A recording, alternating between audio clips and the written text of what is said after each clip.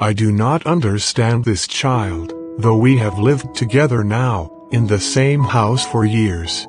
I know nothing of him, so try to build up a relationship, from how he was when small. Yet I have killed the seed I spent or sown it where.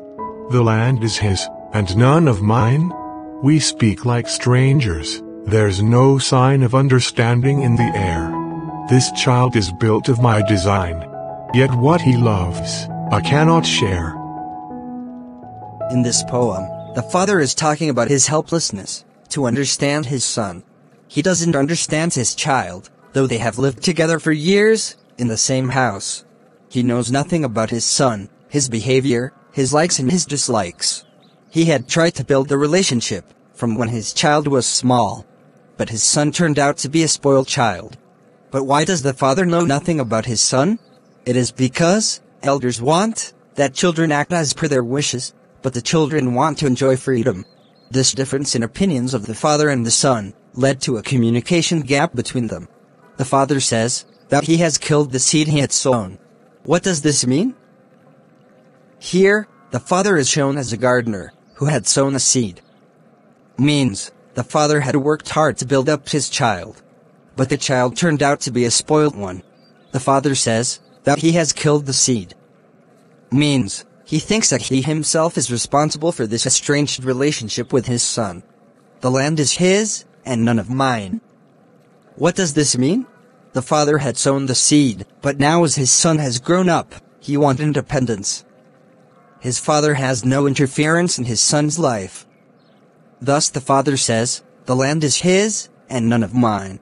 They speak like strangers, and there is no sign of understanding between them.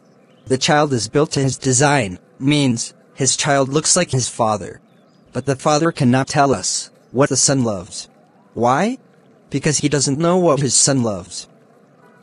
Silence surrounds us. I would have him prodigal, returning to his father's house, the home he knew, rather than see him make and move his world. I will forgive him too, shaping from sorrow, a new love. What silence surrounds them? The communication gap between the two has resulted in this silence. The father would have his son prodigal. There's a parable in the Bible, a father had a prodigal son. Means, the son spent all the money carelessly. The son becomes poor. When he returned to his father, he was welcomed by him, despite having wasted everything.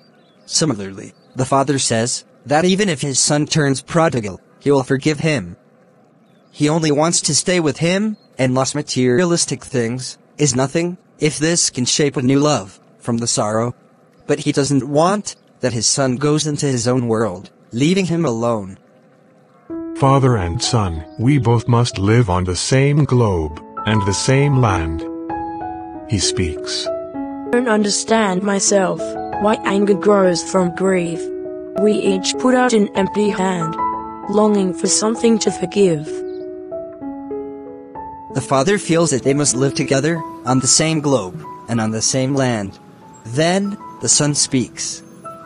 At least he speaks. He cannot understand himself. He is aggrieved because of this strained relationship. But sometimes, this grief turns into anger. Grief means intense sorrow. They both put out empty hands, in the hope to build a new relationship. But why empty hands? Because they just have to give each other a promise, and forgive each other, and nothing else. But this doesn't result in a cordial relationship. Their relationship continues to be strange.